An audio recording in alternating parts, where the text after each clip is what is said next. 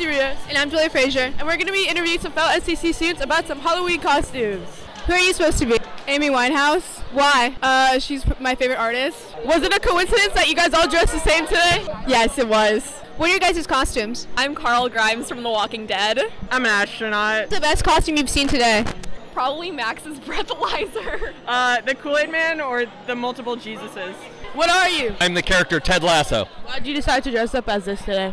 Uh, because someone uh, suggested it to me. They thought it'd be funny. So your costume's pretty scary. Why'd you decide to wear this today? I thought it was funny. Who are you supposed to be? Ice Spice. No way, actually? You thought I was feeling you? You a munch. Why'd you decide to wear this today? I forgot all my clothes and this was the only thing I had. What are you? Tigger the Tiger, and I decided to be it because I didn't have another costume. What's your costume? I'm Cat in the Hat with drip. What are you guys? We are hippies. We are hippies. What's the best costume you guys have seen today? Probably the 12 disciples. I mean, they really put in a lot of effort. I also agree. The 12 disciples are amazing. So who are you supposed to be? Lindsay Weir from Freaks and Geeks. What are your guys' costumes? Frat boys. Why'd you decide to wear it? Last minute decision.